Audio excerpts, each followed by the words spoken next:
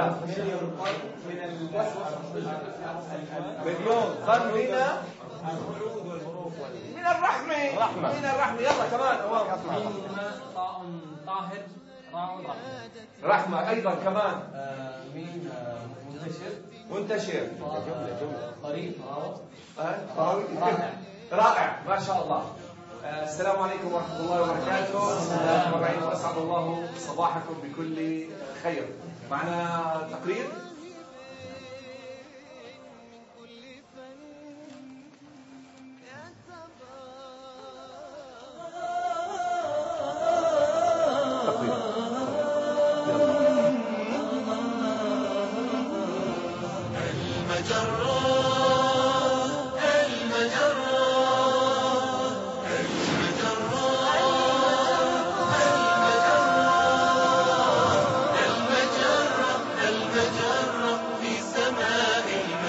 الله صباحكم بكل خير ونحن مقبلون على اليوم الأخير من هذه الدورة التدريبية حول كيف نصنع المليون.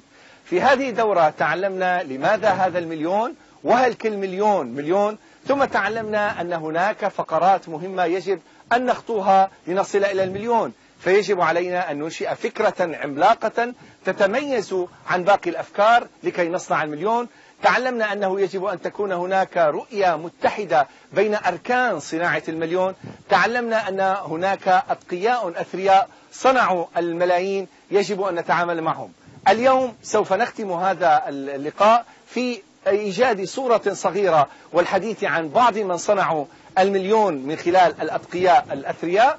ثم سنقوم بتجارب أداء تمهيدا للحلقة الختامية التي سيعرض فيها المتسابقون كيف يمكن أن يقدموا مليونا بعشرة آلاف ريال فقط؟ المهم إيجاد الفكرة المهم أن نخرج من بوتقة فكرة الفقر المهم أن نخرج إلى عالم ونحن سعيدون جدا أننا من أمة الإسلام أمة الإسلام والفقر لا يجتمعان. تعالوا معنا نتابع هذه اللحظات الأخيرة ونأمل أن نكون أن نكون عند حسن ظنكم في كل ما قدمنا في هذه الدورة التدريبية. شاكرين لكم. وأسعد الله أوقاتكم وإن شاء الله تكونوا من أصحاب الملايين.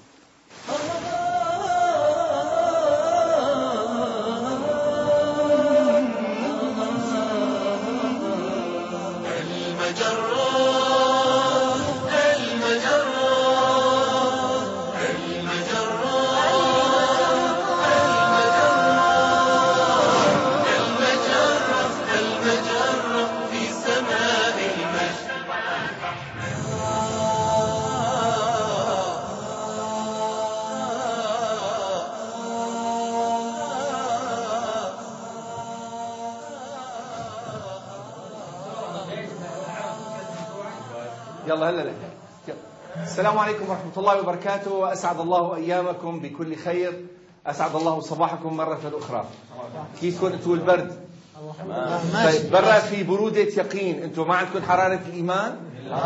ما عندكم حرارة العمل والكفاح والوصول إلى المليون. المليون بده بده نار بده حركة بده تعب. أكيد. ما ما ممكن الواحد هو قابع يصلوا المليون. طيب كيف الاستعدادات للاختبار يوم السبت إن شاء الله؟ تمام؟ إن شاء الله. حدا بيساوى شيء بموضوع المليون؟ المليون من حروفه. حدا ساوى شيء؟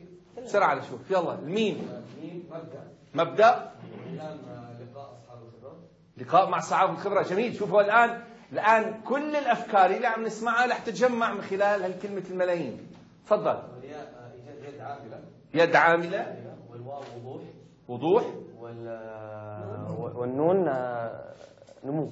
نمو. جميل جميل. كمان؟ ميم معلومات. في الحصول على المليون. أحسنت. بدنا معلومات. معلومات. آه، لام آه، لياقة. لياقة. الجسم الجسم العقل السليم في جسم سليم. يا سلام. آه، آه، مليون. ياء آه، أ- غيره غيره غيره. بسرعة بسرعة بسرعة. معناتها مو عايش الحلم. مو عايش الحلم. نحن مرة ثانية. لتوصل للمليون لازم تعيشه لازم تعيشه اليوم بتعرف شو شو الفرق بيننا وبين أخونا الواثق المخرج مخرج البرنامج. شو الفرق بيننا وبينه؟ نحن عم نشوف البرنامج الآن الساده المشاهدين عم يشوفوا البرنامج. هو شايفه بذهنه من من أول يوم. يعني هو جالس في البيت أنا رح يكونوا المتدربين هون كاميرات هون. التفاصيل كلها موجودة بذهنه. بدليل بتروح بتسأله وين نحط الكاميرات هون؟ وين نصور هون؟ وين تبع الطعام هون؟ هذا المنظر في ذهنه كاملا. اذا عنده حلم عم يسعى لتحقيقه. اليوم أنت مشروعك إذا مو موجود بذهنك ما ممكن تسوي شيء. بده يكون موجود. هذا الفرق بين الإنسان وبين المخرج. بين يلي عم يصمم المادة وبين اللي عم يمارس المادة. تمام؟ تفضل. ميم مبادرة. مبادره لام لبيب لبيب. تكون منظم. لبيب آه، لياء تكون يافع. يافع. واو وثوق. وثوق. والنون نافع. نافع. جميل جميل. طيب آه حدا سوى لنا أشعار بالنسبة للي حكيناه امبارح. تفضل. نحن امبارح شو حكينا؟ 15 معوق أو سميناهم لصوص المليون. لصوص المليون. كم مرحلة؟ أخونا محمد أول مرحلة؟ انتخاب بلا إنفاق لا هي مرحله مين الشباب من مرحله المراهقين مرحله المراهقين إلى مرحله اباء المرحله الثانية اخونا مرحلة التوازن نعم وهي من مرحلة الزواج إلى مرحلة الشيخوخة إلى شو بده مرحلة- يكون في عندنا هون انجازات عندنا إنجازات و مدروسة إنجازات مدروسة ما في عندنا وقت نضيعه في مرحلة الزواج نعم. ما عاد في وقت نضيعه كمان مرحلة ال... تفضل. شيخوخة إلى إلى الخلود. إلى الخلود. هون شو لازم نساوي حصاد. حصاد وزرع. حصاد وزرع. عندنا 15 لا. يلا بسرعة. اللاءات. مين قلنا؟ ال- الخمس لاءات الأولى. خمس لاءات الأولى. لا للكسل لا للمستحيل لا للفشل لا للأصحاب لا لضياع الوقت أحسنت. مين عنده الخمسة الثانيات؟ هون ماشي بدي مشاركة ثانية. ألو. بدي مشاركة بدي مشاركة. هذا كله له درجات. يلا. التوقف؟ نعم. لا للتقليد نعم. لا للأنانية نعم. الأهل نعم. لا لضياع نفسك؟ جميل جميل. كمان لا للاتكال الأخيرة لا للاتكال لا للزهد لا لضياع الوقت لا للجمود لا للجمود. لا تقارن لا للمقارنة مع الآخرين. إذا هال 15 طريقة للاءات وممكن أنت تضيف من عندك. أنت كل مرحلة من المراحل أنت رح تكتشف أنه في شيء لازم تتحدى فيه نفسك. لأنه أنت إذا ما بتقول لنفسك لا ما ممكن لأنه النفس تميل إلى إلى الاسترخاء إلى الراحة. وما ممكن تبني شيء أنت إلا إذا قمت وعملت وبنيت. الهدم سهل الاسترخاء سهل لكن البناء يحتاج إلى قوة يحتاج إلى إلى جهد وتفاعل. حدا سوى لنا أشعار على هدول الكلمات ال 15 وقف على الواقف سيدي. على طول معه الميكروفون. تمام. تفضل. رحلة المليون أخضعها للالا ثم لا لا لا ولا لا لا ولا لا لا ولا لا لا ولا 15 لا لا الله عيد عيد لا بدنا نعدهم عيد عيد لشوف رحلة المليون أخضعها للالا ثم لا لا لا ولا لا لا ولا لا لا ولا لا لا ولا الله هذا شيء سيد الخشل لا لا ولا لا الف لا لا والكسل مرفوض والأصحاب لا لا قول لا للمستحيل أما قتل الوقت لا ترضاه لا لا. الله. لا التوقف لا ولا التقليد لا لا. والأنانية وضياع الأهل لا لو في ضياع النفس لا. لا التقاعد لا ولا للزهد لا لا. لا تكل للغير في الخدمات لا لا. ولا ولا لا للجمود في ظروف الغير لا لا لا تقارن الله! ما شاء الله ما شاء الله. جزاك الله خير جزاك الله خير. الآن هي طريقة هي طريقة سلفنا هي طريقة علمائنا. يعني اليوم ال- ال- اللي حاب يسمع يحفظ التجويد رح يشوف يراجع المنظومات اللي تمدد اللغة العربية رح يشوف قديش حجم قديش تعبوا عليها لحتى يعلمونا من خلال تحويلها إلى أشعار إلى أفكار. مثل ما إن حرف لاي اللي كان معنا موجود ضعه في البيت. علم أولادك علم نفسك. دائما تذكر إنه بلا أنا أصل إلى إلى المجد. بلا أصل إلى العلياء بلا أصل إلى المليون. طيب نحن رح نتحدث اليوم فقرتين. رح نحكي بموضوع الاختبار ورح نحكي بالاتقياء هل الاتقياء صنعوا المليون؟ هل الأثرياء صنعوا المليون؟ رح ناخذ نماذج نذكرهم لحتى نتعلم نحن والمتابعين أن التقوى طريق إلى الثراء وليس التقوى طريق إلى الفقر وأن ما يشاع أن الإسلام يرتبط بالفقر كما يحدث عالميا هذا ينافي حقيقة الدين الذي أتى لسعادة الإنسان ورقيه وثراء. بداية مع ال- الاختبار آه، الاختبار نحن في عنا يوم السبت إن شاء الله رح يكون ساعتين على الهواء مباشرة على قناة المجد العامة. فخلال الساعتين نحن بدنا نضبط الوقت جدا مشان يكون فرصة للجميع إنه يظهروا على قناة المجد العامة. لذلك آه، ضغطنا موضوع الاختبار ليكون فقط في أربع دقائق. بناء على شيء فرح يكون عندنا فقط ثلاث أسئلة ثلاث أسئلة. لغينا فقرة آه، ماذا تع- تعلمت من الدورة؟ وأبقينا على الفقرات الأساسية. اذكر تعريفك للمليون من خلال حروفه الخمسة خلال دقيقة واحدة. وهلا اليوم رح نعمل هلا اختبار بموضوع ضبط الوقت. عشر درجات. درجتين لكل حرف من الحروف.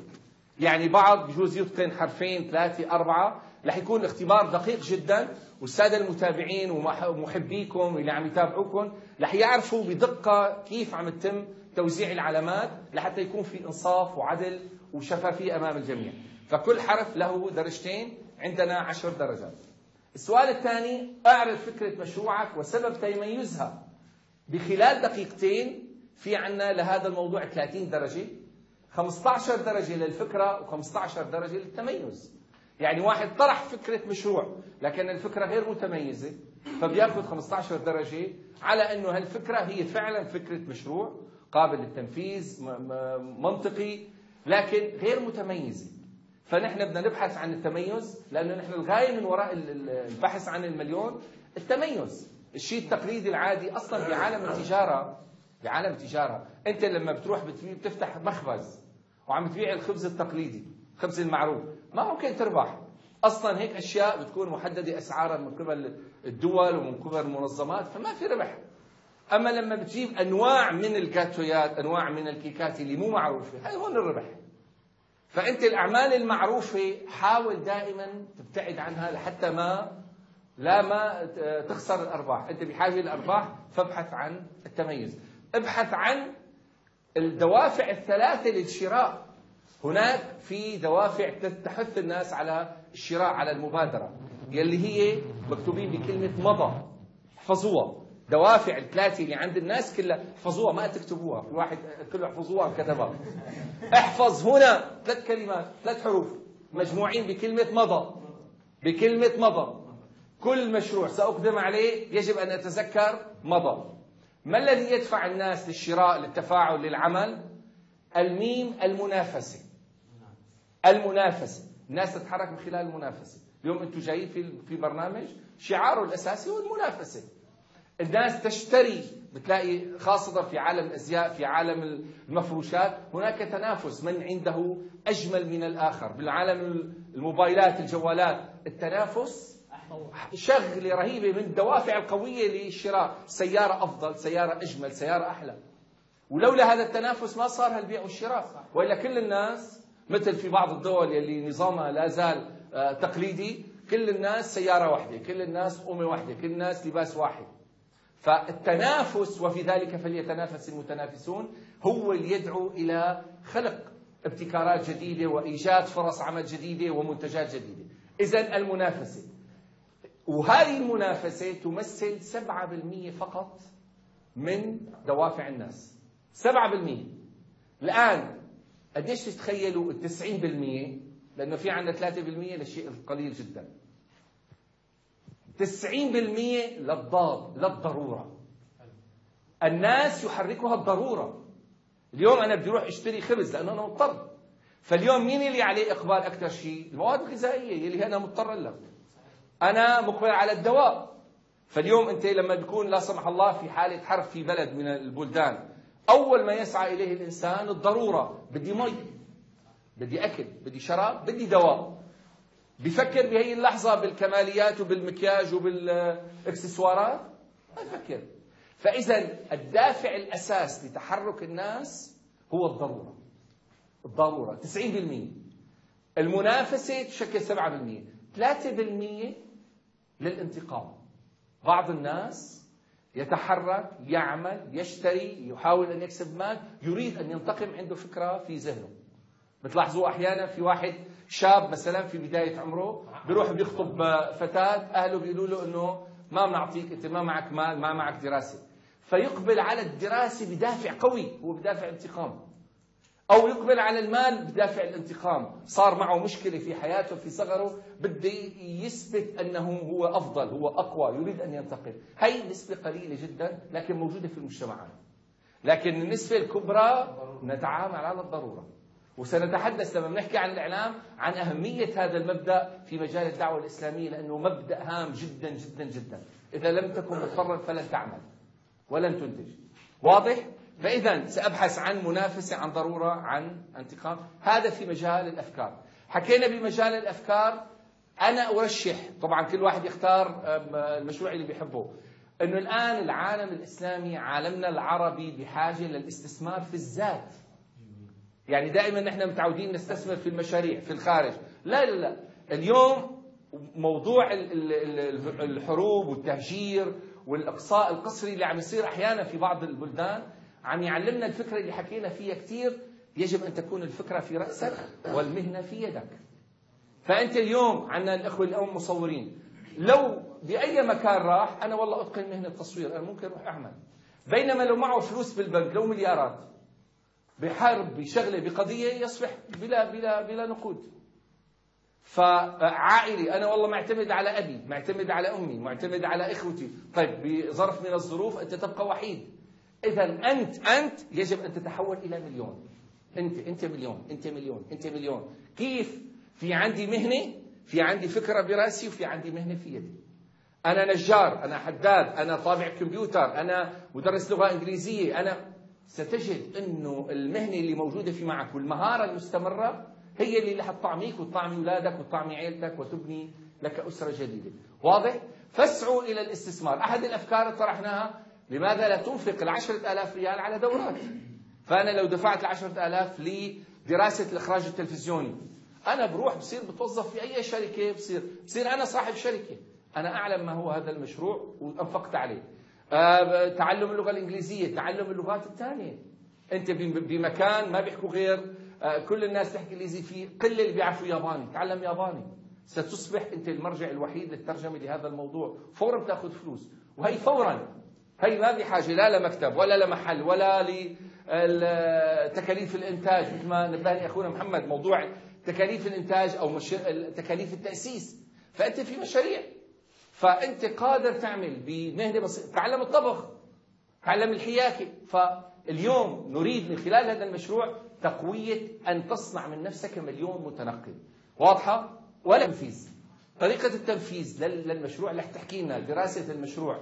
ماليا دراسة المشروع واقعيا والتفاعل الشخصي مع المشروع. 20 ولا دقيقتين؟ لا لا دقيقتين دقيقتين. هي 20 درجة ال 60 درجة رح يتوزعوا. عندنا هون 60 هون 30 وهون 10 درجات. عندنا ال 20 درجة لدراسة المشروع ماليا وعندنا 20 درجة لدراسة المشروع واقعيا. يعني في واحد بيقول لك إيه إذا أنا حطيت 10000 في كذا ممكن يربحوا كذا. بس واقعيا هذا ما ممكن يصير. أنا والله بدي آه، بدي أدرس دراسة النجوم وال- والكواكب. هذا إذا استثمرناه ممكن يساوي شيء. طيب واقعيا أنت عندك مراصد أنت عم تشتغل مراصد؟ يعني بتذكر مرة واحد آه، درس في أحد بلدان الخليج درس في في أمريكا صناعة الغابات. فالمشرف عليه قال له أنت عم تدرس دراسة عن صناعة غابات أنتم عندكم بالأصل غابات؟ يعني البلاد ما فيها غابات. هذا ممكن تدرسه إذا كنت عم خريج آه، بدك تنفذ عملك في أفريقيا. في بلد فيها غابات. فأنت دروس المشروع أولا ماليا صح واقعيا صح. وهذا اللي حكينا به هذا يعتمد على إنه هل هذا المشروع يمكن أن يطبق واقعيا؟ أنا بدي أدرس مهنه، هل قابله إنه أنا مقبول إني أدرس هي الدورات أو أتعلم هذا العمل أو أفتح هذا المشروع؟ الثلاثة واللي بيهمني جدا التفاعل الشخصي مع المشروع. رح يكون في عليها 20 درجة، أنت عايش الموضوع وهذا أثناء الاختبار رح نلمسه، رح يلمسوه السادة المتابعين وال- والمحبينكم والمشاهدين. انه انت فعلا عايش بالمشروع، انت بتحب هذا الموضوع لما ما بتحبه. أو انت بس فقط إنه هذا مصدر مال. وهي للأسف بنشوفها بالموظفين. أحيانا أنت تتقدم إلى وظيفة فقط لأنه راتبها عالي. بس أنت ما بتحبها مو عايشها. فبتلاقيه عم يشتغل بس ما ممكن يعمل إنتاج، ما ممكن يتقدم، لأنه هو لا يحب ما يعمل. وقديما قيل قيمة المرء فيما يحسنه. أنت شو اللي تحسنه هذا قيمتك. فأنت ابحث شو اللي بتلاقي نفسك فيه؟ أنا منشد، أنا حائك، أنا كمبيوتر، أنا هندسة، أنا صوتيات، أنا كاميرامان، الشيء اللي أنت بتلاقي حالك بارع فيه اعمل به. أما أنا أطلب تعرفوا ال- النبي عليه الصلاة والسلام لما جاءه الصحابي وطلب الإمارة قال لا إنها أمانة وإنك ضعيف. لا تأمرنا على اثنين ولا تولينا مال يتيم. فالقضية مو لأني أنا طلبت أنه في فرصة شاغرة. واليوم للأسف مشكلة من مشكلات العالم برمته أن الرجل المناسب ليس في المكان المناسب. الرجل المناسب ليس في المكان المناسب. أما لو إنسان اشتغل باختصاصه ببراعته بالأمس كان في تكريم للشخص اللي اكتشف الثقوب السوداء في في الكون ستيفن هوكينغ. هذا هذا الرجل يعني كان في آخر عمره شبه مشلول. حتى عرضوا عليه أن أن ينهوا حياته بشكل آه، يعني طواعية إنه حرام أنت عم تتعذب. مع ذلك أصر وقدم للعالم نظريات علمية في مجال الفلك وهو شبه مشلول شلل تام. فأنت شوف ماذا تحب ماذا تتمنى.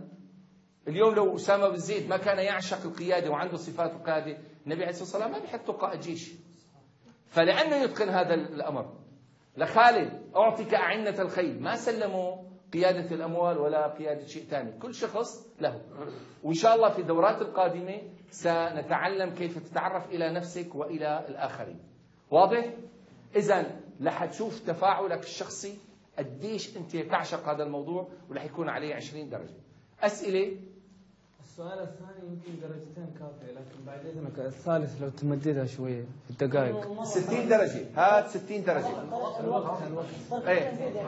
الوقت آه المشكلة المشكلة إنه أنتم 20 متدرب ونحن عندنا فقط ساعتين على الهواء. يعني عندنا 120 دقيقة وفي عندنا مقدمين وفي عندنا تعليق على كل متسابق. فأخشى إنه نمدد الوقت قوم آخر عشرة ما يطلع ما يطلعوا على الهواء. دقيقة طيب. ما ما بيطلعوا على الهواء. السؤال الأول يا دكتور ما يحتاج يعني دقيقة كاملة. طيب يا- هلا هو أنت إلك أنا بالنسبة لي لي لي أربع دقائق. استغل. أنا إذا بتساوي العمر بأربع دقائق هذا أفضل شيء. أنت استغله. يعني تعريفك للمليون إذا بتحسن تساوي بنصف دقيقة ممتاز. راح يتم النقاش بالمشاريع تحت الهواء لاحقا؟ لا لا لا مباشرة أمام الناس كلهم ما في شيء.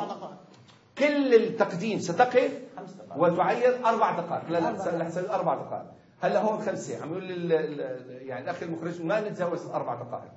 مشان نستفيد من الوقت هلا إذا اضطرينا وصلنا للخمسة لكن بنكون في مرحلة خطر.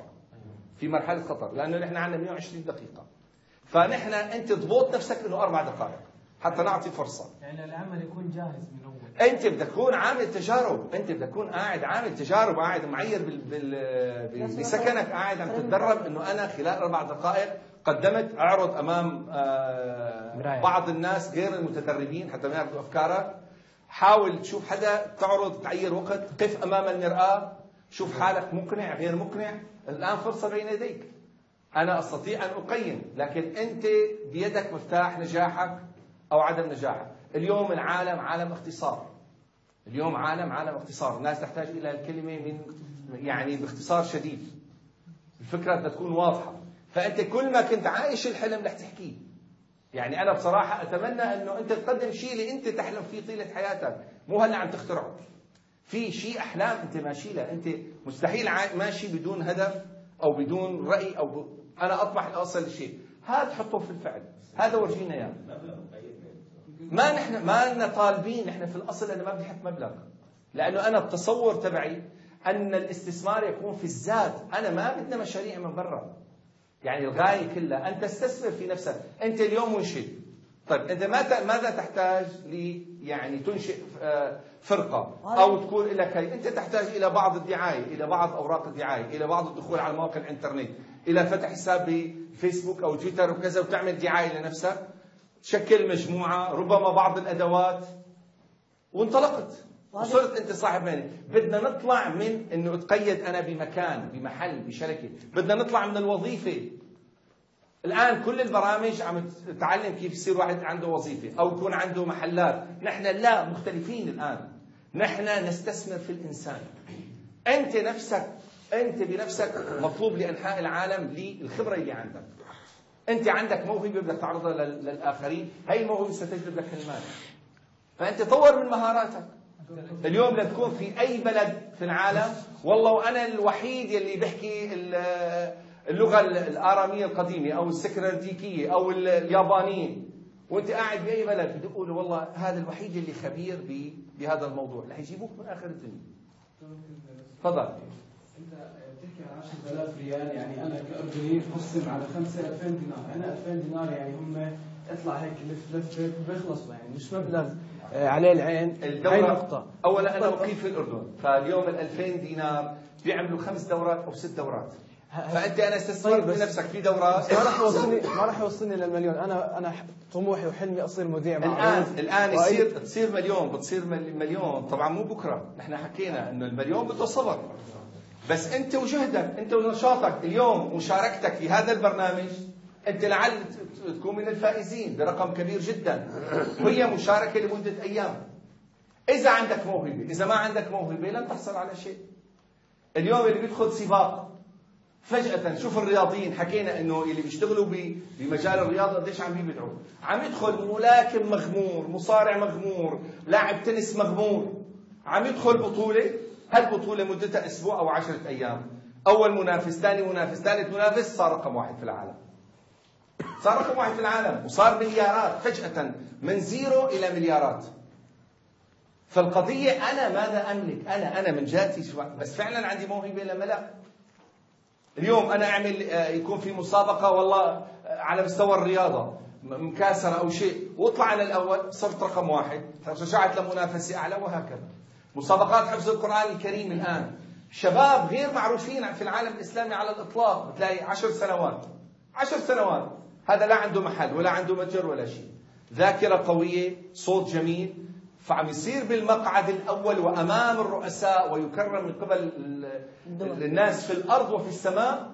وخلال خمس دقائق عم يحصل على مليون وثلاثة وأربعة وعشر من ملايين ريال وهو عمره 15 سنة. أنا حضرت أكثر من من 20 مسابقة للقرآن الكريم. مهارة. أتقن هذه المهارة عنده مهارة الحفظ عنده مهارة النطق. فما بالك إذا واحد عنده قدرة على الترجمة؟ أنا بحكي طبعا المسابقين بيحكي القرآن بالعربي وبالإنجليزي. فقادر على التفسير. فأنت في مهارات في مهارات بس بدنا نطلع من كل مشكلة. لها حل. واضح؟ طالما ستقف عند المشكلة فمن الآن من الآن اترك هذا العمل وخليك موظف. يعني أسلم عقلك لغيرك. خليك تبع. خليك تبع. هذا موجود في العالم. وقلنا نحن 93% من الناس متشابهين أو 90 متشابهين وال 10% أو 7% فروقيين. فأنت حابب تكون من ال من ال من التبع؟ خليك موجود. وهذا موجود ومطلوب.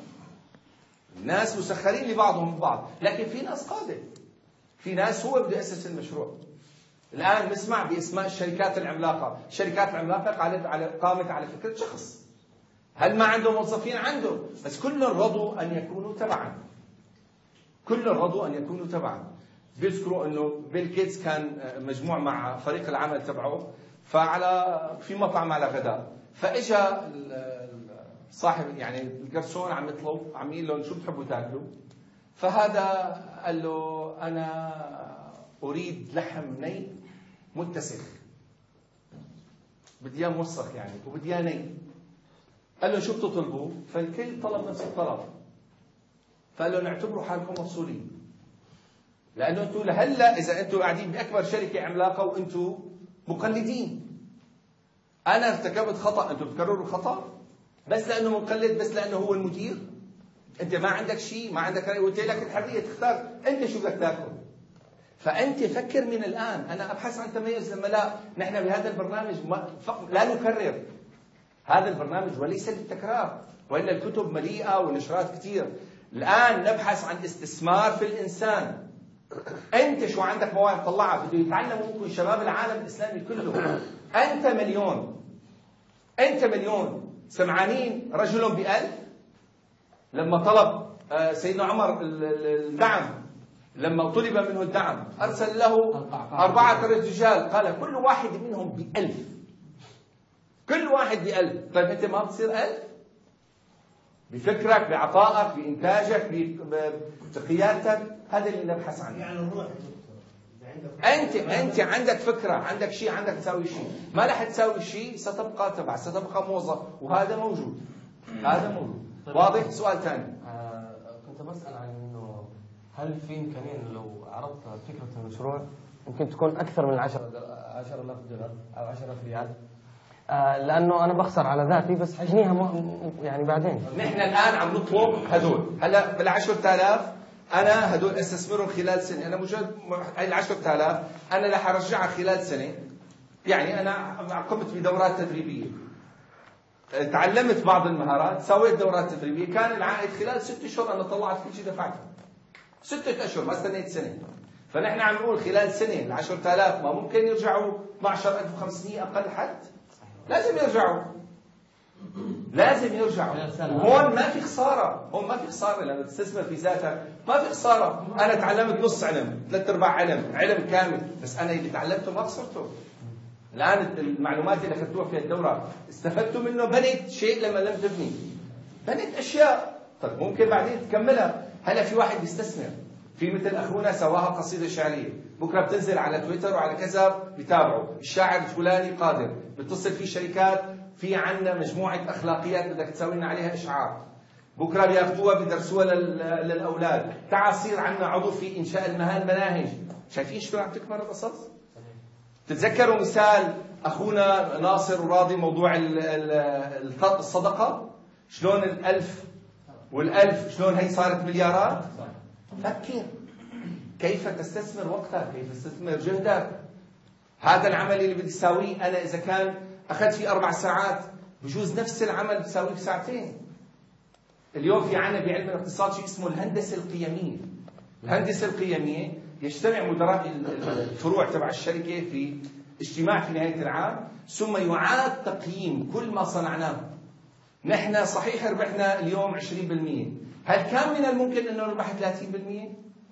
طيب حققنا عملنا مصاريف بنسبة كان 20% من رأس المال. هل ممكن نساويهم بس 10% هل إذا ضاعفنا الدعاية والإعلان بيزيد كذا. هل إذا خفضنا بصير كذا؟ هذا إعادة تقييم للمشروع اللي أنت عم تساوي. أنت لقيت حالك فتت بدورات في مجال الرياضة لا والله أنا لو دخلت في مجال الكمبيوتر أفضل لي. أنا لو دخلت مجال الإنشاء أفضل لي. فبعيد تقييم بستفيد واضح؟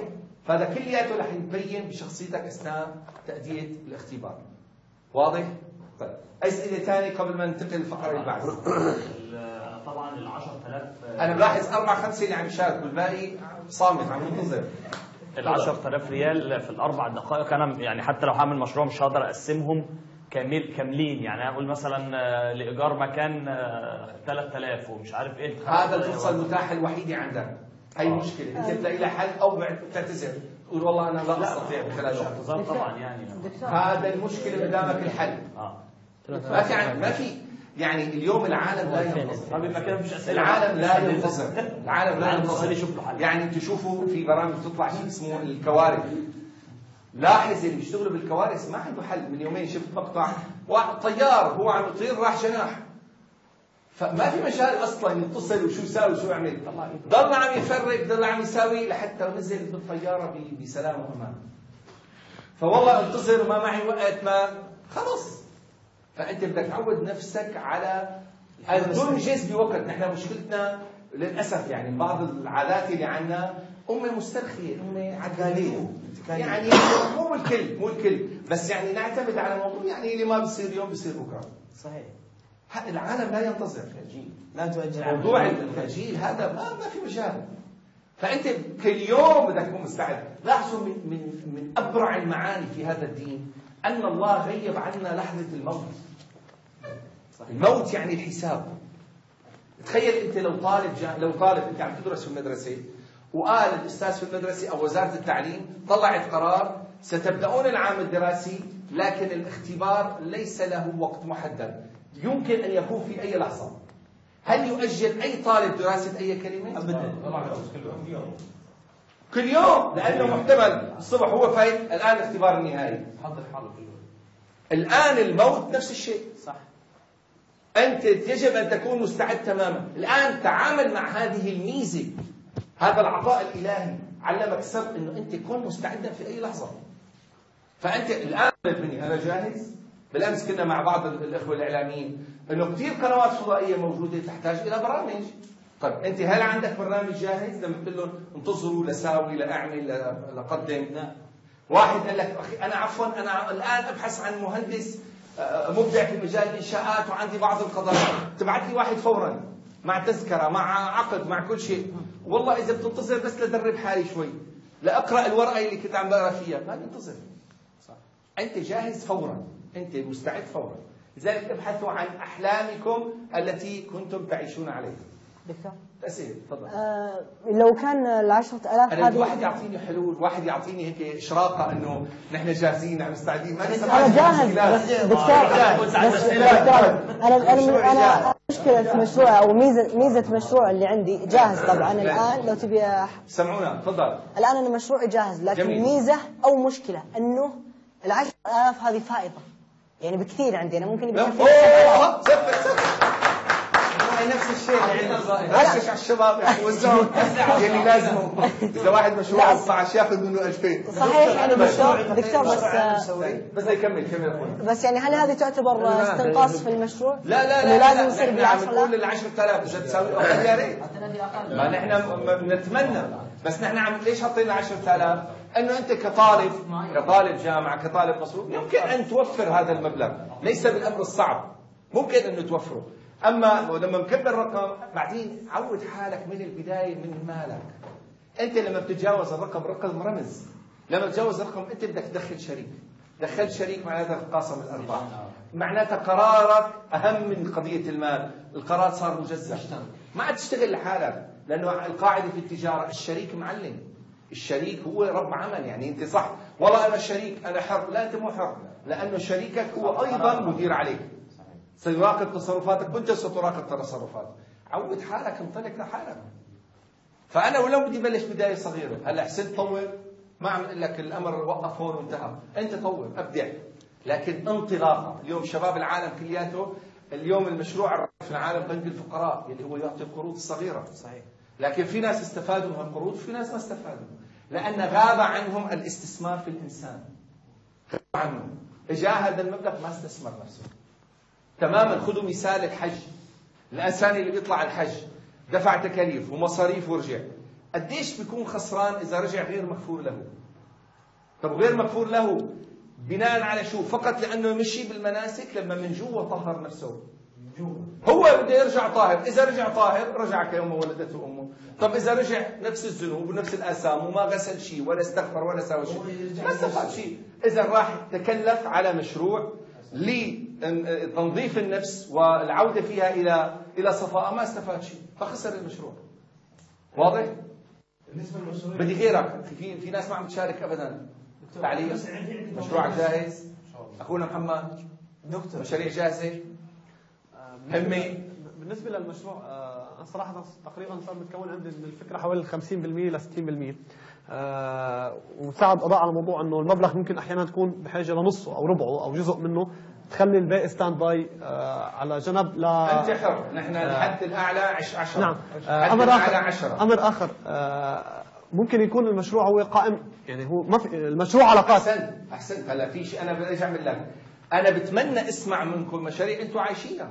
نعم. يعني أنا عايش الحلم. أنا الآن بطور كذا. أنا ينقصني شيء. لحقق شيء اعلى عاملين مفاجأة. القريب انه هي ممكن يكون مشروع علاقات. امبارح كنت عم بكلمك عم لك إنه آه، في أحد الصحفيين هو شغلته يبيع أرقام. يا سيدي هي أنت أنت الان اقترح أمام الناس كلها ماذا يمكن أن تفكر.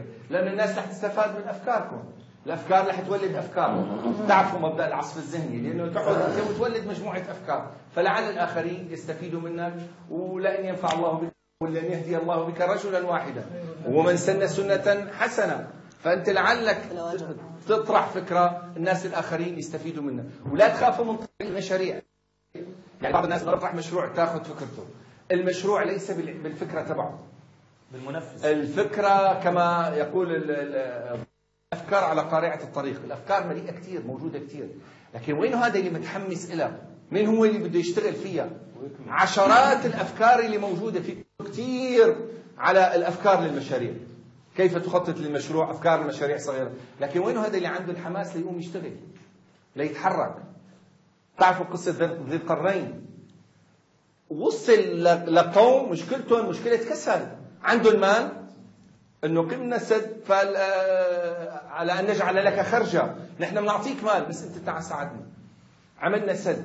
طب أنتوا واقفين شو عم تساووا واصلين لمرحلة من الكسل لدرجة قال له انفخوا يعني واصلين شعب واصل لمرحلة ما بده يساوي شيء. قال لك بس انفخوا لك بس انفخوا نفخ بس مشان نشعل النار. معناتها قديش الشعب كسلان.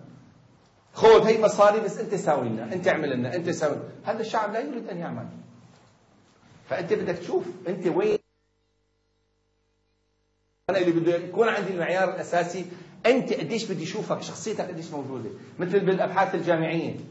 لما بيناقشوا رسائل الدكتوراه أول كلمة بيقول له المراقب بيقول له المناقش أين شخصية الباحث؟ أنت بس جامع لي ناقل لي وقال فلان وقال فلان وقال فلان وقال فلان. أنت قديش موجود بهذا البحث؟ ماذا أضفت؟ فأنت قديش بهذا المشروع؟ وأنت ستشهر الآن هي القناه عم تفتح لك مجال تكون رقم واحد في العالم. والله هذا الرجل عنده هالأفكار العملاقة جيبوه اتصلوا فيه نعرض عليه أكثر. عندك فرصة هائلة. والآن ستسأل يوم القيامة عن هذه الفرصة. أنا الآن عم بحكي بدافع شخصي. ستسألون يوم القيامة عن هذه الفرصة الرائعة. قدمنا لك فرصة من ذهب. أعرض نفسك. عشرات المشاهدين ملايين المشاهدين عم يتابعوك. لعل إنسان يأخذ بفكرتك وينطلق معك إلى الآفاق البعيدة. واضح؟ حدا عنده آخر شيء تساؤل؟ أنا بدي أعمل تجربة فقط على آه، ضبط الوقت. نختار بس بعض الإخوة وبدنا نحكي نختم برنامجنا ال- اليوم بإذن الله عز وجل عن أتقياء اثرياء نحكي شوي عن قادتنا العظام عن أتقياء هذه الأمة كيف صنعوا الأموال ليكونوا قدوتنا. لأن قدوتنا نحن أن المسلم هو بارع في كل شيء بالأعالي. المسلم بارع في الأعالي. أنا لما بقول الأنبياء قدوة قدوة في كل خير مو قدوة في في الشر. فأنا لما بقول بمجال المال كانوا في العطاء في الكرم في اليد العليا. أما ما عندي مثال على اليد السفلى اليد الآخذة هذا مو مثال. الشخص اللي بيأخذ هذا مو قدوتي. قدوتي اللي يعطي. قدوتي الذي يزكي مو اللي يزكى عليه. أنا طموحي في الزكاة أنا أزكي مو ازكى علي. مو طموحنا والله أنا والله الحمد لله في نظام الزكاة هلا بيجيني. لا أنت تسعى لتكون أنت المزكي مو المزكى عليك واضح؟ إن شاء الله نشوف. لكن بدنا نعمل اختبار على موضوع الوقت. تعملوا تجارب وأنتم ارجعوا اعملوا آه، تجارب كثيرة جدا في موضوع الوقت. عملنا تجربة ضبط الساعة إنه أنت عير ساعة أنتم كلكم جوالاتكم فيها مؤقت رقمي. بس آه ف- آه، يعني بعدين يعني؟ إيه مؤقت رقمي أنت بتحط المؤقت وبتشوف. أنت حط ال- الجوال سكر غطي غطي الجوال وشغل المؤقت. وبعد أنت شوف حالك. أنت عيرت 30 ثانية فورا اللي بالجوال شوف. صاروا 30 ثانية. واضح؟ لاقي زميل يعدل لك عشرات الحلول عشرات الحلول. المهم اضبط تعلم شغلته من أحد أساليب ضبط الوقت؟ كون القاعة بلاط ممكن تساعد وفيها نوع من المرح. لح يطلع كل نختار يعني بس أربع خمسة ما بدنا أكثر مشان بقية الأخوة. آه، الطريقة كالآتي رح يوقف ويشعل الكبريت ويتحدث. عن المليون بحروفه الخمسة بالوجهة نظره. بدنا نشوف قديش ممكن يضل عم يحكي والكبريت شغال. في واحد رح ينطفى معه بسرعة في واحد رح يخلص. واضح؟ خلينا نبدأ. واضح؟ بدك تحكي ظروف خلينا نشوف قديش بتحسن تاخذ وقت أطول وأنت عم تركز على موضوع آه، الكبريت معك. طيب مين رح يبلش معنا؟ يلا. طيب تفضل وقف هون. بسرعة. يلا. ما بتوقف مجرد ما وقفت سقط الكبريت وسقط أو إذا انطفيت هي. ارفعه عادي وانزله شو شو ما بدك شو ما بدك تساوي هي الخيار لك الآن. واحد اثنين ثلاثة. طيب بسم الله الرحمن الرحيم. السلام عليكم ورحمة الله وبركاته. المليون طبعا مسألة جدا لذيذة. أول حرف عندنا حرف الميم اللي هو مسار النجاح. النجاح جدا سهل. وحرف اللام عندنا آه حرف اللام راح يكون إن شاء الله آه لا إله إلا الله. لا لا بس حاجة يعني يعطيك العافية. لأنه إحنا ما عم نعمل أذكار. يلا سيدي يلا. غيره غيره بسرعة بسرعة بسرعة. بسرعة. ما في مبادرين ما. يعني أنا ما بدي أفرض حدا بس بدي تكون عندكم روح المبادرة. يلا. بديها بديها مرة ثانية. يلا يلا. بسم الله. بشويش يا راجل أيوه. السلام عليكم ورحمة الله وبركاته. السلام. أنا أكلمكم عن مليون النهارده المليون بتاعتنا أول مليون أول حرف فيها الميم. خلينا بأول حرف. خلينا بأول حرف. يلا اديها. يلا. عايز خلينا بأول حرف. خلينا بأول حرف. يلا يلا. اختم بقى. عشان بسم الله الرحمن الرحيم. يعطيكم الصحة والعافية شباب. إحنا هنتكلم عن كلمة المليون. أول حرف عندنا اللي هو حرف الميم. مستقبل جديد. يعني إيش مستقبل جديد؟ إنك تفتح حياة جديدة تغير نمط حياتك من جديد. حرف اللام اللي هي لا. العود من تحت بسرعة بسرعة بسرعة. روح مين؟ العود اللي يخلص بسرعة. هون هون تعال تعال عندي عندي عندي. خلي اسميك. لا خلي اسميك. طيب تكون؟ يلا اديها. لا لا مو معقول. كل هالبراعة هي والله يا أخي سفقوا له والله. شيء رائع جدا. يلا تفضل. دكتور بقول لك عندك ممكن يلا. دكتور والله ما أعرف يا متوتر. بسم الله الرحمن الرحيم. يا شباب مليون مغامرة لام لموع الاختفاء يا آه، يد عاملة. واو آه، واو آه، وعيد للهدف. نون إيش نون؟ نبوغ سفقوا له هلا لاحظوا إنه استغل الوقت فورا بطرح الخمس حروف. يعني طلعت الخمس حروف كلها. بينما البعض مثلا لساته عم يشرح. أنت قول الخمس حروف. يلا. يلا. يلا باقي الأخ شقير وواحد بس لأنه ما عاد معنا وقت كثير يلا. يلا.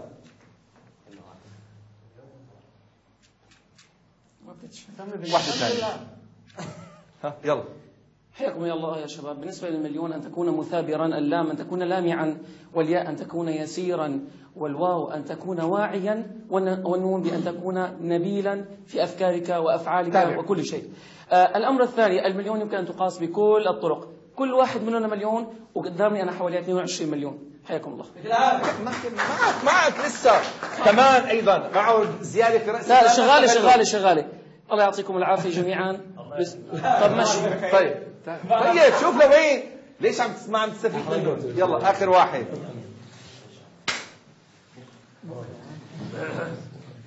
يلا. يلا بسم الله.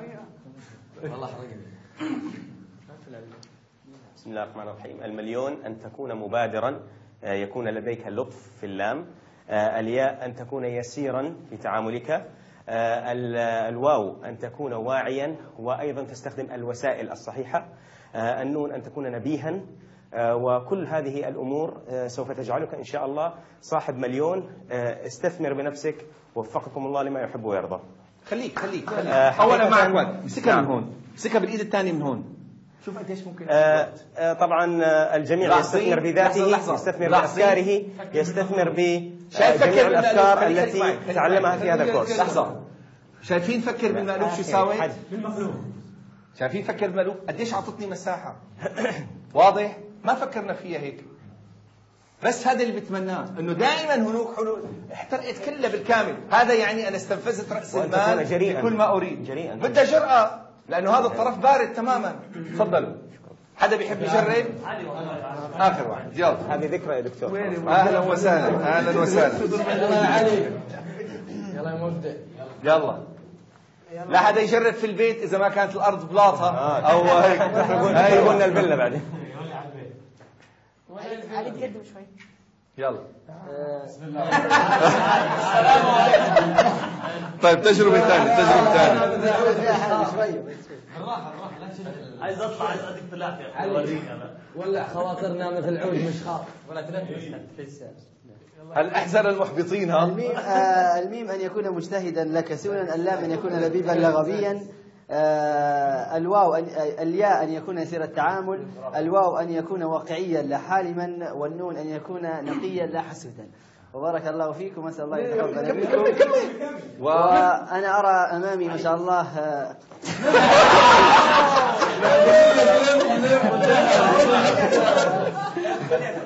أنا أرى أمامي واحد يحترق. أراك أمامي واحد حترك طيب بسرعة شديدة اللي هون لهون واللي هون لهون. بسرعة بسرعة بس. بسرعة بسرعة بسرعة. بدل مواقع مع السيد فؤاد. بدل مواقع بدل مواقع. المجاورة السعيدة يسعد أسرع أسرع أسرع أسرع أسرع. يلا واحد منشد منشد. يسمعنا بيت واحد بيت واحد بصوت جميل. بين الصبح عيسى هم وحملوها وسارت في الدجى الإبل. يا بيت بأول لام يا بنفس المقام. يا بيت بأول لام أو تبدأ باللام أو أو آه، أو على نفس المقام. لا لا. لما بدا يتثنى أضاء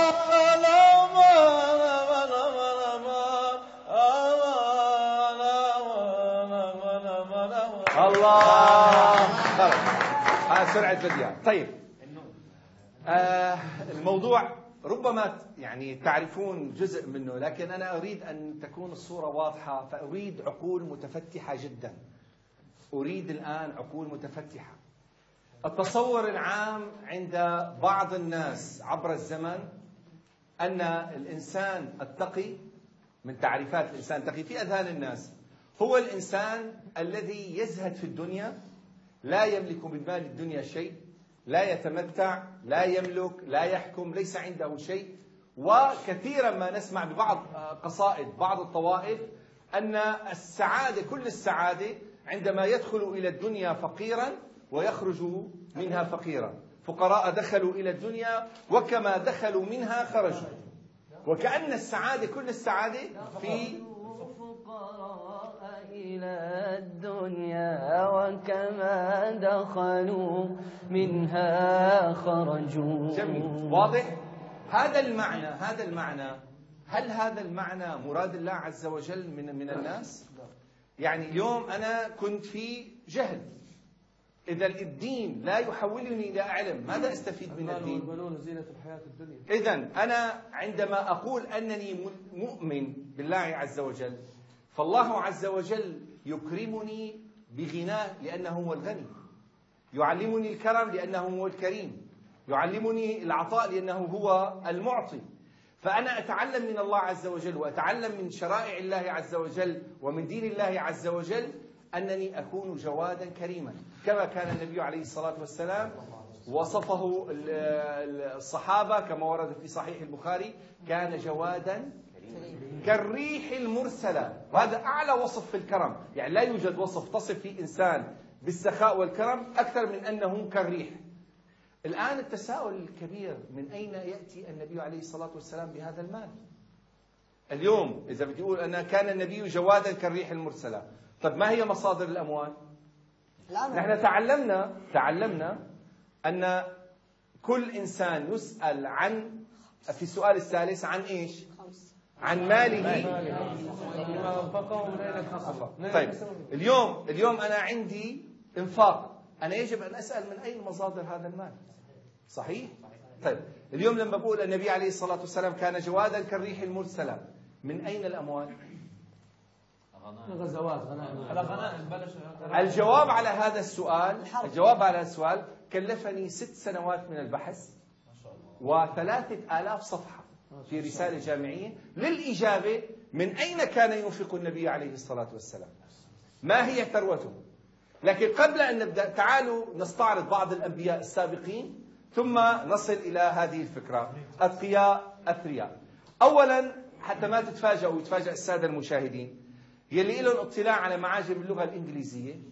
لو وضعوا كلمة fakir كلمة فقير في معاجم اللغة الإنجليزية الشهيرة لونجمان ويبستر كامبريدج أكسفورد dictionary. سيجدون أن هناك معنى لكلمة فقير ستفاجؤون به. شو بتوقع كلمة فقير؟ شو لازم يترجموها؟ مسلم. كلمة فقير بالمعنى العربي. هلا قلت واحد فقير شو يعني؟ لازم اكتب لا مال له. مال. طيب المفروض يكتبوا هون لا مال له. ما معنى كلمة فقير في معاجم اللغة الإنجليزية؟ فقير a Muslim holy man. متسول المسلم المسلم المسلم. في المعجم الثاني المسلم الدرويش. المسلم الدرويش هو الإنسان الفقير. في معجم كامبريدج إما الهندوسي أو المسلم. Islamic Religious Group جماعة المسلمين. كلمة فقراء هم جماعة المسلمين. جماعة الدين الإسلامي. بأكسفورد dictionary كمان religious Muslim. المسلم المتدين.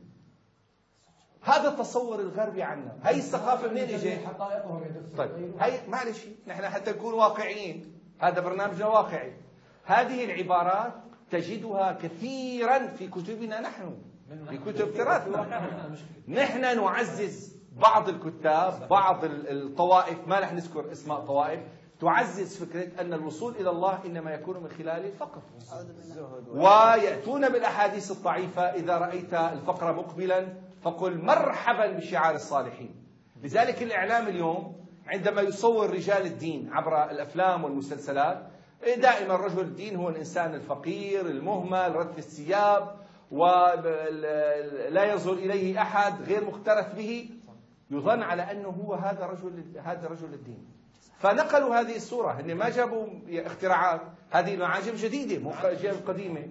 وشافوا واقع المسلمين. اليوم اليوم عندنا ما شاء الله يعني أثرياء ما هو مبين عليهم يعني. هذا اللي حنوصل علماءنا كثير منهم. كذا. يعني ما شاء الله. الآن اللي نسعى له لهذا. بس نحن بدنا نرجع لتأصيل الفكرة.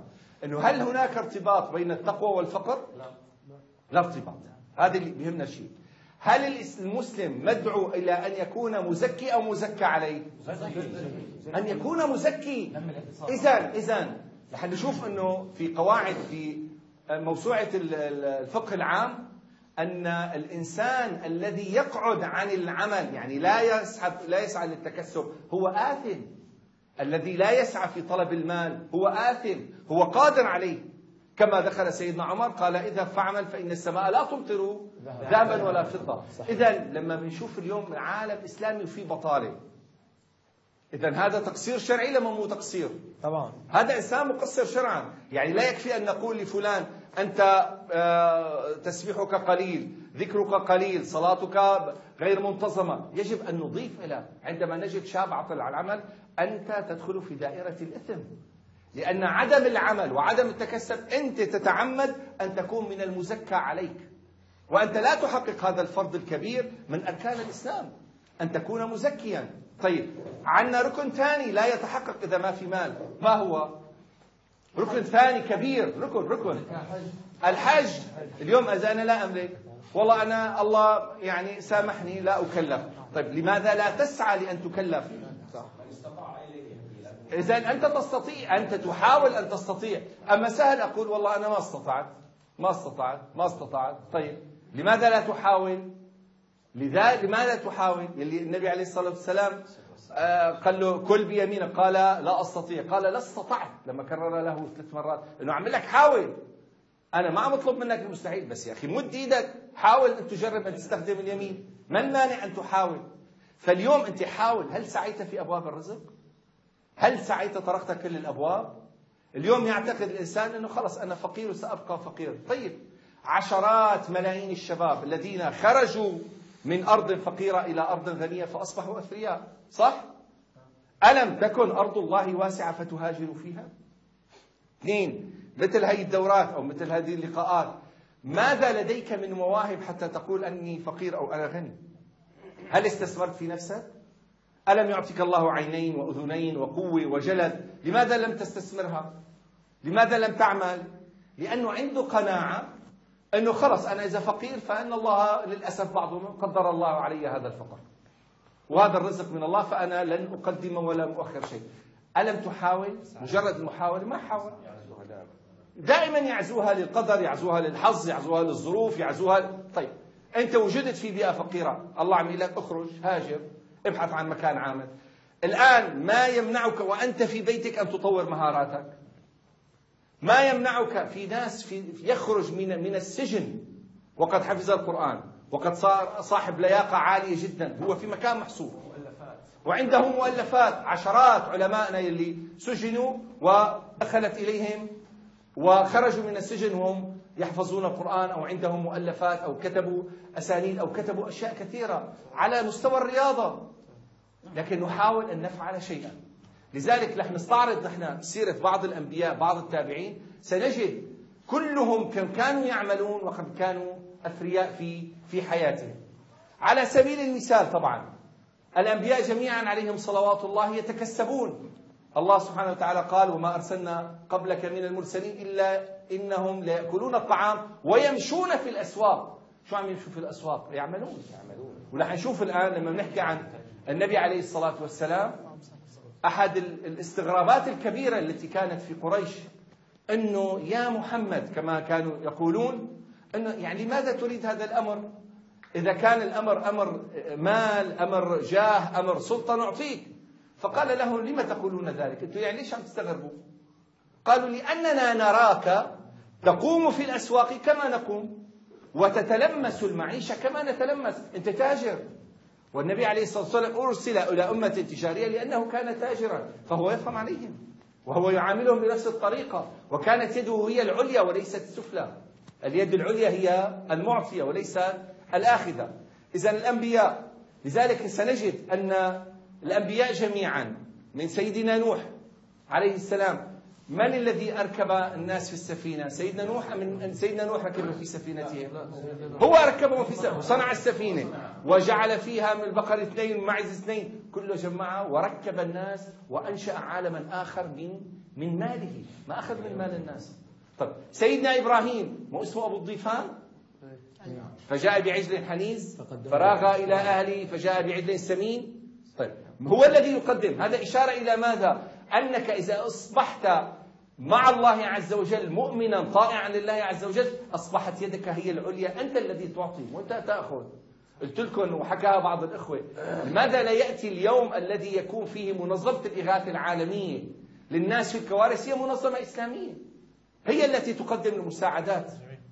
حتى يشعر المسلم أينما ذهب يقول أنتم أصحاب فضل علينا أنتم عند النجدة وعند الغوث أنتم أصحاب الغوث والنجدة.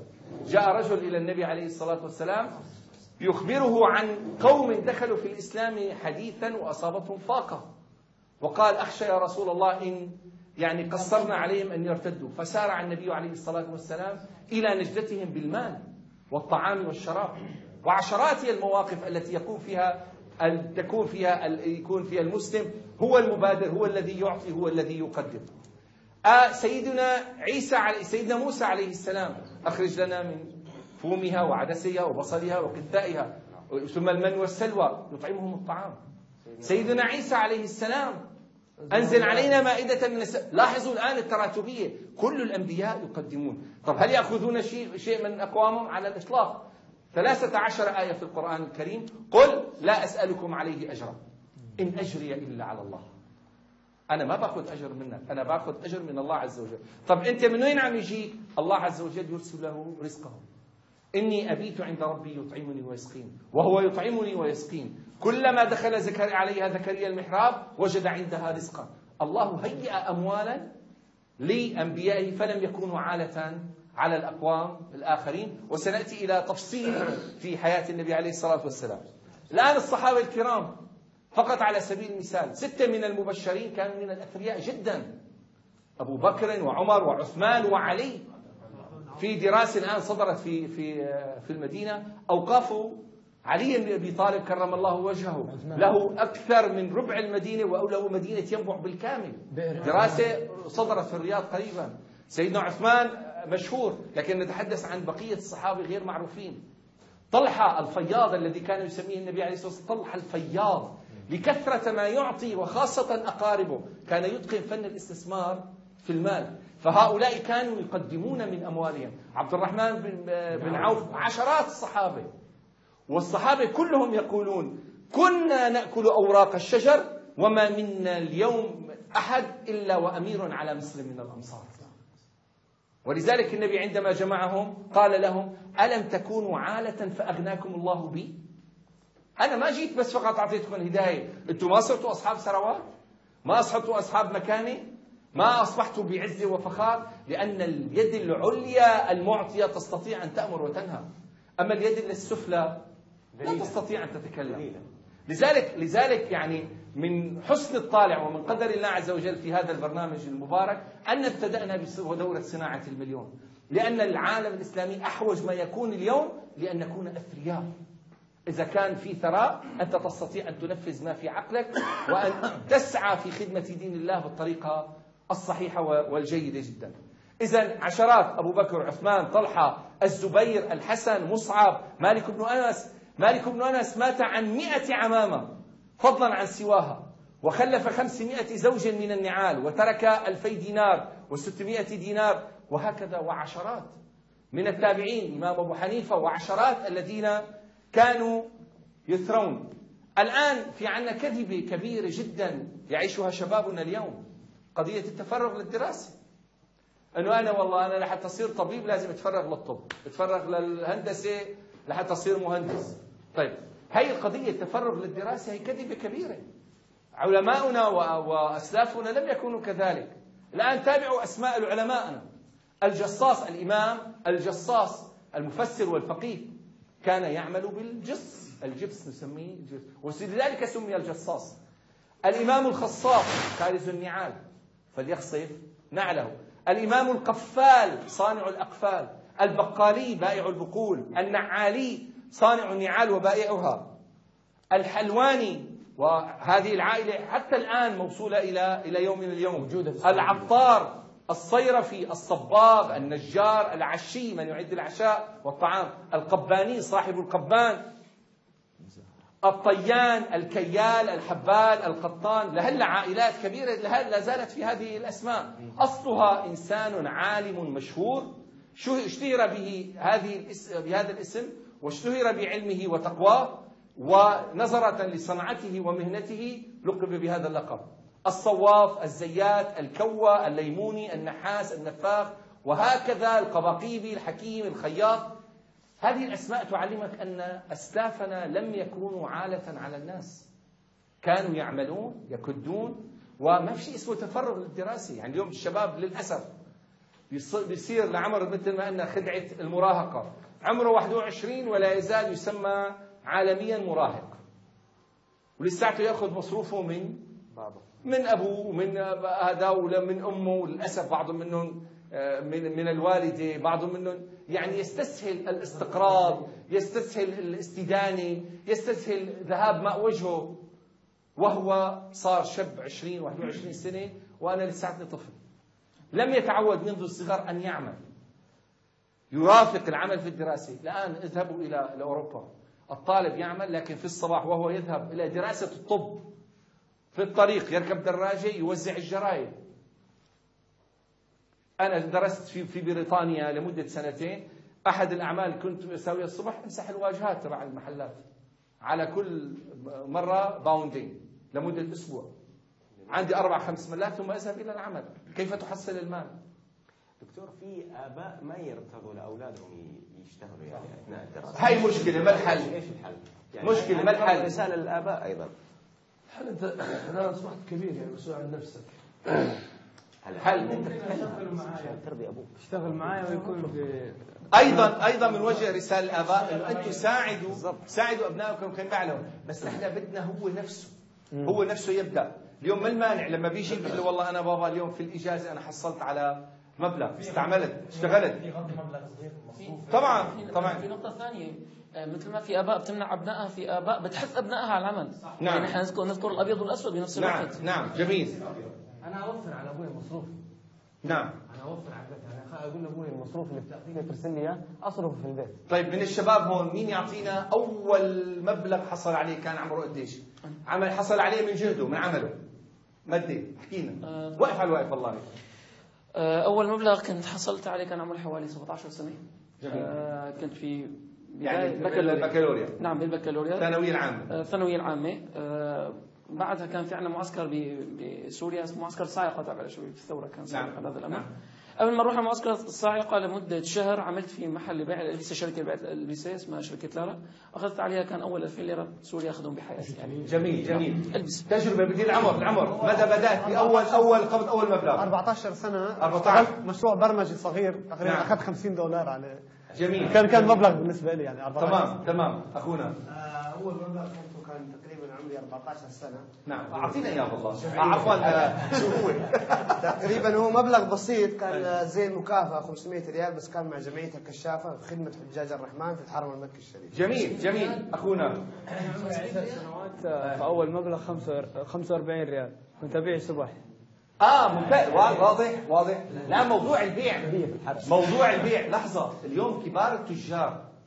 اليوم أنا أعمل في مجال التجارة ب- ب- ب- بعدة مجالات. ويطلب مني موظفين ليعملوا في التجارة. أحد أهم الشروط يطلب مني أنا أريد بائع كان يبيع في نفسه في الشارع. جيب لي بياع كان يبيع لأنه هذا صاحب محل متنقل. عديش عنده لازم يكون عنده خبرة في فن إقناع الزبون. ومعرفة أنواع الناس واصلا البياعين أكثر الناس معرفه بالناس. يعني أنت إذا عندك هي بس من قوسين عندك عريس جاي لبنتك لأختك بدك حاببك تختبره تختبر طباعه جيب معك واحد بياع. لأن هدول بيعرفوا هذا الشخص جدي غير جدي هذا يكذب هذا يلف هذا يدور هذا لا يحب. واحدة من الاختبارات فيلي بيتعاملوا في موضوع البيع والشراء منذ الصغر هدول عنده خلطه عنده مغامرة عنده إقبال على الناس. سمعنا والله. آه، كان عمري لا شو دي سمعنا. آه عفوا. كان عمري 12 سنة. نعم. أول مبلغ اخذته 16 ريال كنت كنت أبيع جح شو تبيع؟ جح بطيخ. بطيخ. هذا بطيخ. هذا يترجم بطيخ. بطيخ. ووتر ميلان بطيخ. بطيخ. آه، مع ولد خالي. إيه. يعني إذا راح أجلس بمكانه وإذا جاء خلاص اجلس معه بعد اسولف جميل جميل يلا تفضل كم واضح في العطلة في الصف الثاني 14 سنة إيه. آه، جدي الله يرحمه كان عنده مخيطة معروفة في مدينة الزرقاء نعم. كنت أشتغل معه مع أخوالي أول كان يعطوني في الأسبوع 30 دينار يعني طيب شو سويت بهي المهارة مهارة الخياطة شو سويت فيها طورتها ما يعني نميتها كنت- كنت لا كنت انسق الأمور بين المحلات اللي علاقات. الألبسة. علاقات يعني عامة. أودي ال- الالبسه اللي بدها خياطه نعم الجاهز نعم, اللي نعم. بده ما فكرت آه، تشتغل بهالمهنه أو تتدرب عليها وتتعلم عليها ك- كنت راح أبلش لكن يعني دخلت المدرسة في هذاك جميل جميل. آخر آخر كلام. أخونا أخونا. كنت من 14 سنة إلى وقف وقف والله.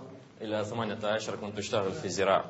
في الزراعة. في الزراعة. أنت في بنفسك تحفر وتزرع و... لا ما واحد هو كان مدير وأنا كنت أساعده. كل كله أعمال الآن أعمال. نميت هذه المهارة. الآن أيوة. تعرف أيوة أعرف تعرف أعرف الزراعة؟ أعرف مشروعي يعني في الزراعة. نسلمك هذا المكان كلياته. هذا جاهز للزراعة. وتستطيع؟ جا- جاهز هذا. هذا اللي غيره جاهز. هذا جاهز. أهلا وسهلا. طيب خلينا في الربع ساعة المتبقية نحكي شوي عن سيد الخلق. كيف كان يتعامل مع أمواله؟ آه النبي عليه الصلاة والسلام في هذا البحث الذي ذكرت لكم بدأنا نجمع أمواله عليه الصلاة والسلام من أين يكسبها. فوجدنا أن النبي عليه الصلاة والسلام لم يكن يوما يعيش عالة على أحد. يعني التصور العام أن النبي عليه الصلاة والسلام عاش فكان يتيما ثم كفله جده أبو عبد المطلب ثم عمه أبو طالب ثم تزوج بالسيدة خديجة ثم خرج إلى المدينة فأعانه أبو بكر ثم مات ودرعه مرهونة عند يهودي. الآن لما بتسمع هذه الحادثة تشعر وكأن النبي عليه الصلاة والسلام فقط كان يعيش عالة على كل هؤلاء. الواقع خلاف ذلك لذلك أنا لن أسرد كل شيء أنا سأسرد فقط قضيتين من قضايا حياة النبي عليه الصلاة والسلام. كما في سورة الأحزاب قرآنيا وفي ملمح من الملامح الرائعة التي ذكرها الإمام البخاري. في القرآن نجد وصف لبيت النبي عليه الصلاة والسلام وهو خلاف ما نعتقد في أذهاننا التصور العام في أذهاننا أن النبي عليه الصلاة والسلام كما قلت عاش حياة الفقر حياة البؤس بعضهم يقول حياة العدم. لكن الله عز وجل وهو أصدق القائلين قال ووجدك عائلا فأفقر. لا فأفقر. في فأفقر؟ ما في. منين عم يجي فأفقر؟ من وين الناس يزعمون أن النبي عليه الصلاة والسلام فقير؟ والله يقول فأغنى. الله يقول فأغنى. لكن للأسف البعض يتصور أن النبي عليه الصلاة والسلام فقير. بدليل بيقول لك والله مات النبي ودرعه مرهونة عند يهودي. الآن سنفصل بعض المسائل. لكن تعالوا الآن إلى القرآن الكريم. نبتدأ بالقرآن الكريم. وجدك عائلا فأغلى إذا حسن وليس بعد كلام الله كلام. وجدك عائلا فأغنى إذا تم إغناء النبي عليه الصلاة والسلام. طيب الآن القرآن يذكر لنا علاقة النبي عليه الصلاة والسلام المالية مع الصحابة. التصور العام أن النبي كان يذهب فيأكل عند الأصحاب. بعض الأحاديث الضعيفة تذكر أن النبي عندما كان يخطب يقول لهم قولوا لها إن معي جفنة سعد تدور معي حيثما درت. والحديث عند التحقيق لا يصح. كيف النبي عليه الصلاة والسلام يتزوج وطعامه وطعام زوجته على الآخرين؟ تعالوا إلى القرآن. كيف يصور لنا إقبال الناس إلى رسول الله صلى الله عليه وسلم لا ليتعلموا هنا في هذا الملمح ليطعموا الآية 51 53 في سورة الأحزاب الله عز وجل يقول يا أيها الذين آمنوا بعد أعوذ بالله من الشيطان الرجيم يا أيها الذين آمنوا لا تدخلوا بيوت النبي. أولا النبي ليس عنده بيت عنده بيوت. وبيوت النبي ليست ملكا لأحد يعني الآن البيوت التي بجوار الحرم المدني هي ملك للنبي عليه الصلاة والسلام وإلا كيف يسكن بها زوجاته؟ ثم بعد وفاته كيف يبيعون هذه الحجرات؟ هي ملكه لما أتى إلى المدينة واشترى المسجد النبوي. إذا القرآن يقول يا أيها الذين آمنوا لا تدخلوا بيوت النبي إلا أن يؤذن لكم إلى طعام. الله أكبر. التصور أن النبي يذهب ويأكل الطعام عند الناس. القرآن يقول أنتم تدخلون إلى بيوت وليس إلى بيت. بعض الناس يحصر هذه المسألة في بيت واحد. الآن القرآن يتحدث عن بيوت النبي عليه الصلاة والسلام. لا تدخلوا بيوت النبي إلا أن يؤذن لكم إلى طعام. الآن انظروا إلى هذه الكلمة الرائعة غير ناظرين إناه أي انتظروا نضج الطعام كي تدخلوا. يعني تخيلوا هذا المشهد قياس مع الفارق. متى تجد الناس يزدحمون على أبواب المطاعم؟ لما بيكون في طعام شهي وطعام كذا لكن يقفون في الدور. لأنه لا يمكن تقديم مثلا ألف وجبة في وقت واحد. لازم يكون في وقت ينتظر. فالقرآن الآن ينظم الدور. يقول سيدنا أنس كانوا زهاء 300 يلي كانوا يصطفوا على بيت بيوت النبي عليه الصلاة والسلام. كيف يدخلون إلى حجرات النبي عليه الصلاة والسلام؟ لنفرض عنده قدرين أو ثلاثة أو أربعة. قالوا للنبي لا ليش, ليش تنزل آية قرآنية تتلى إلى يوم القيامة؟ في تنظيم الدور. أولا ليعلم الناس إلى قيام الساعة أن النبي عليه الصلاة والسلام لم يكن عالة على أحد. ليعلم الناس إلى قيام الساعة أنه مجرد أن تقول لا إله إلا الله وتصبح مسلما تصبح عزيزا منفقا لا آخذا لا سائلا لا متسولا. الشيء الأهم الله يرينا عبر الزمن أن النبي أتى إلى هؤلاء القوم وقد وعدهم بالغنى وأنه يقدم لهم الغنى والمنصب والمال والطعام. فيجتمعون على بيت النبي. الآن النبي لا يستطيع أن يقول لواحد انتظر بالدور ارجع غدا. فالقرآن يبين ذلك. فيقول الله عز وجل فإذا طعمتم فانتشروا حتى يدخل قوم آخرين فإذا طعمتم فانتشروا الآن ولا مستأنسين لحديث أنت داخل الآن لبيت النبي تأكل. أيها المسلمون أطعموا الناس. أنت تأكل تأكل الآن مو تأكل تأخذ درس. لذلك لاحظوا ذي القرنين. قدم لهم المشورة في كيفية صناعة سد وأنقذهم من الذين يظلمهم. ثم قال لهم هذا رحمة ربي. أطعم الناس ثم ادعهم إلى إلى الإيمان وإلى التقوى. لكن ابدأ بإطعام الناس بإسعاد الناس. أنتم الآن إن شاء الله تخرجون في الآفاق. ابدأوا بصناعة المشاريع ثم قولوا للناس تنظرون إلى هذه المشاريع الخيرة. هي كلها لولا رحمة الله ولولا عطاء الله ولولا أني مسلم ما قدمتها فيدخلون في دين الله أفواجا. ابدأ بتقديم الناس اصنع للناس. النبي عليه الصلاة والسلام عندما عرض الإسلام على قومه وجمعهم وأخبرهم عن عن عن, عن الإسلام اضطر أن يدعوهم إلى الطعام ثلاث مرات. صنع لهم الطعام ودعاهم. فلما انتهوا من الطعام لم يجد الوقت مناسبا ليكلمهم. ثلاث مرات في المرة الثالثة قام بهم خطيبا ودعاهم إلى إلى الإسلام بعد أن أطعمهم. حتى أراهم أنني لم آتي لآخذ أموالكم أنا أتيت لأعطيكم أموالي وأنا أعينكم على كسب الأموال. فالقرآن يقول لك فإذا طعمتم منتشروا ولا مستأنسين لحديث إن ذلك كان يؤذي النبي فيستحيي منكم. النبي من كرمه لا يستطيع أن يرد سائلا على الإطلاق. ما رد سائلا؟ فلا يستطيع أن يقول لواحد انظر تعال غدا. أنزل الله قرآنا يحمي النبي عليه الصلاة والسلام من الحرج فيستحي منكم والله لا يستحيي من الحق. الآن بيت النبي فقط مطعم؟ القرآن يزيد على ذلك. بيت النبي مليء بكل شيء. وإذا سألتموهن متاعا من نسأل؟ أمي وأمك أمهاتنا زوجات النبي عليه الصلاة والسلام وأزواجه أمهاتكم. فاسألوهن من وراء حجاب. بالأدب الشرعي المطلوب. لكن أنت تسأل وإذا سألتموهن متاعا فاسألوهن. نسأل متاعا من بيت لا يملك فيه متاع. القرآن يقول لك اسألها. دليل على أن وجود المتاع والأشياء موجودة. هذا دليل فقط على الفرق بين بيت النبي في أذهاننا وبيت النبي في القرآن. حادثة أخرى نختم بها ما أورده الإمام البخاري في كتاب المزارعة تحت باب باب نفقة نساء النبي عليه الصلاة والسلام. العجيب في حياته وبعد وفاته. كيف ينفق النبي على نسائه في حياته وبعد وفاته؟ النبي تزوج عدة زيجات. منهم من قال أربعة عشر ومنهم ستة عشر ومنهم من جعلها أكثر من ذلك طبقا للسرار والإماء وبين من عقد عليها ومن لم يعقد عليها. المهم من أين كان ينفق على هؤلاء النسوة؟ كان ينفق عليها من جيبه الخاص. لم يكن ليأخذ من مال الدولة لأن النبي عليه الصلاة والسلام كما أخبر القرآن ما كان لنبي أن يغل. الغلول هو السرقة من مال من المال العام. فما امتدت يد النبي إلى مال بيت المسلمين؟ كان ينفق من خمسه من الأنفال من الفيء من الغنائم من تكسبه من التجارة التي استمر بها من ميراثه من والديه من ميراثه من السيدة خديجة ومن صفيه ومن المصادر التي لم يستخدمها كانت النبي عليه الصلاة والسلام عشرة مصادر دخل.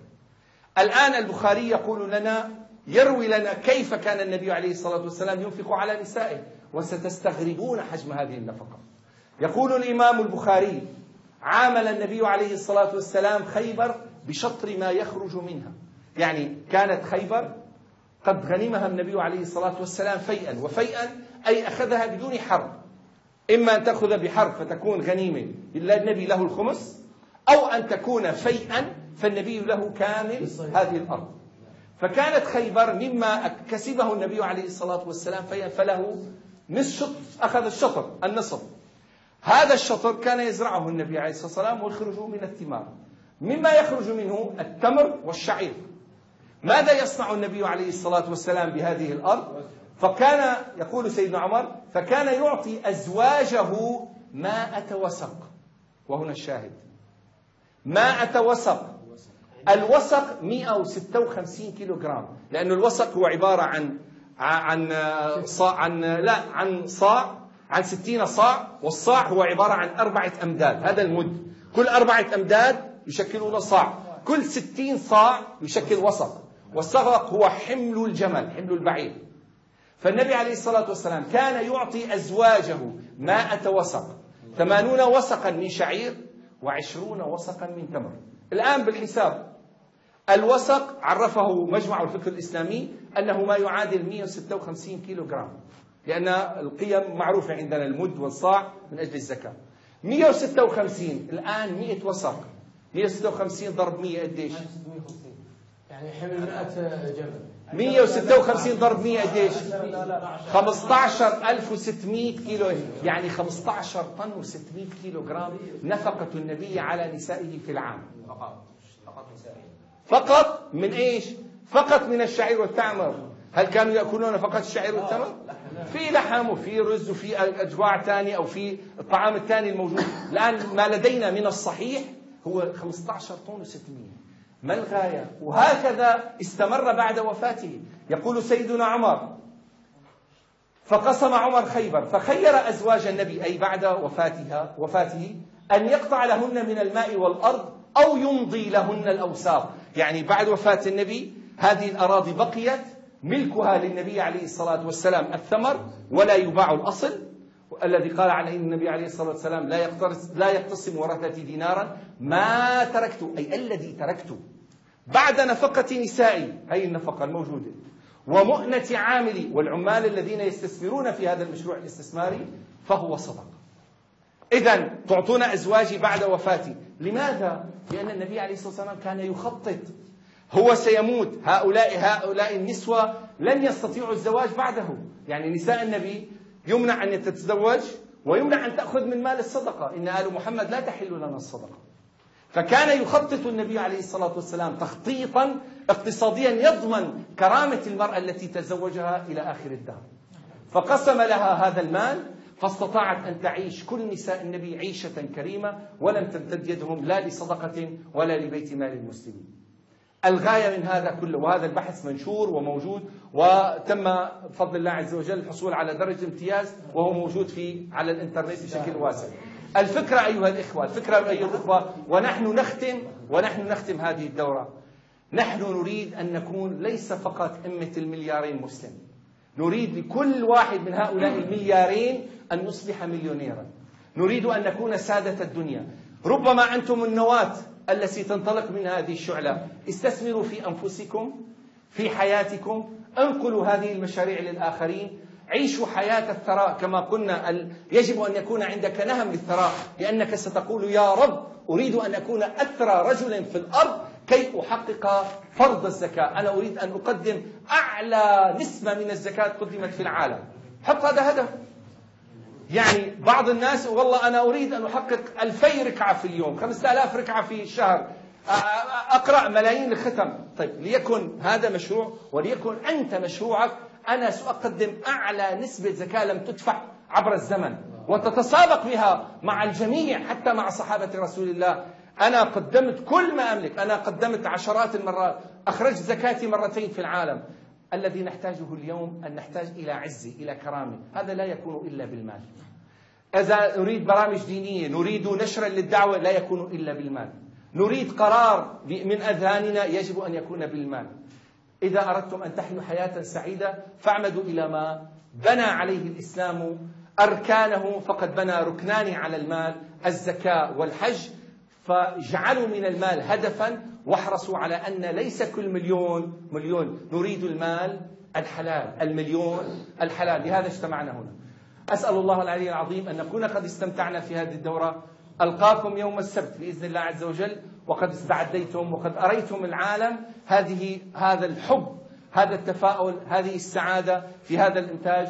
ونرفع أيدينا بالدعاء لمن قاموا على هذا البرنامج والساعين إليه والناشرين إليه وكل كادر العمل. نسأل الله أن يغفر لنا ويرحمنا. شكرا لكم. والسلام عليكم ورحمة الله وبركاته.